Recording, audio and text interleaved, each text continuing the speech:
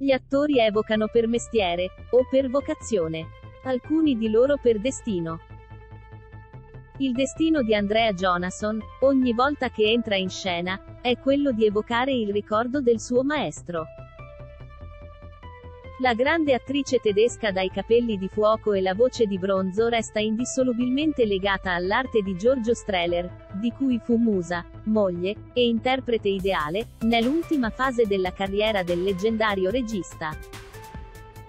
Oggi, dopo 11 anni di assenza, Andrea Jonasson 80 anni torna a calcare un palcoscenico italiano, Sarà Hélène, la tormentata madre di spettri, il capolavoro di Ibsen, prodotto dal Teatro Stabile del Veneto e in scena dal 9 al 13 novembre al Teatro Verdi di Padova, prima di raggiungere Milano e Roma, per la regia del lituano Rimas Tuminas.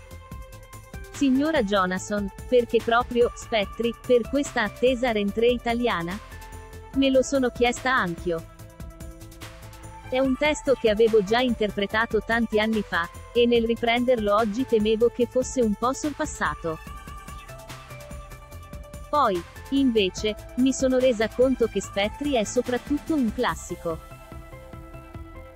E che, come tutti i classici, continua a parlarci di cose che ci appartengono ancora.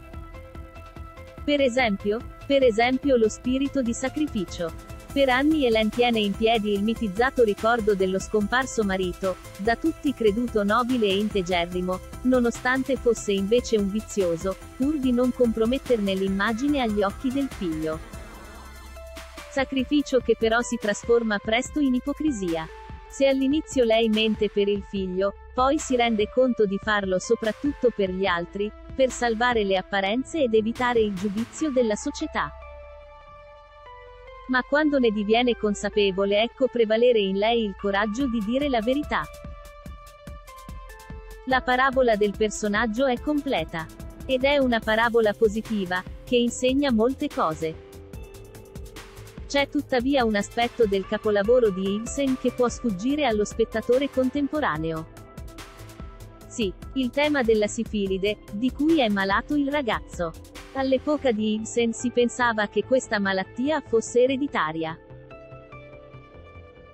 Le colpe del padre, insomma, che ricadono sul figlio. Anche per questo Hélène è combattuta se rivelare o meno al ragazzo la reale natura viziosa del padre. Incolpare lui della sua malattia significherebbe liberargli la coscienza ma, al tempo stesso, rovinargli l'immagine del genitore, che tutti credono un santo. Come si è trovata con un regista come Tuminas? All'inizio con qualche difficoltà. Streller mi aveva abituata ad essere seguita passo passo, Tuminas non parla una parola d'italiano, la comunicazione è stata complessa. Per l'anteprima, lo scorso inverno a Venezia, invece dei necessari mesi di prove abbiamo avuto solo quattro settimane. Per fortuna il teatro fa miracoli, ancora oggi riesco a viverlo con la stessa emozione dei miei inizi. E la stessa cosa è per lui. Così non è stato impossibile trovare il modo di condividere lo stesso progetto. E ora lo spettacolo ha preso il volo. E tornare a recitare in italiano, dopo un intervallo di 11 anni? In questo decennio ho recitato soprattutto a Vienna, in tedesco. Ma è stato come risalire in bicicletta dopo un po' di tempo, qualche incertezza all'inizio, presto superata. Ormai l'italiano fa parte di me. Posso esprimermi senza alcuna differenza nella vostra bella lingua, che amo appassionatamente, come nella mia. Come ha vissuto il centenario della nascita di Streller? Trova sia stato adeguatamente celebrato? Forse si sarebbe potuto fare qualcosa di più.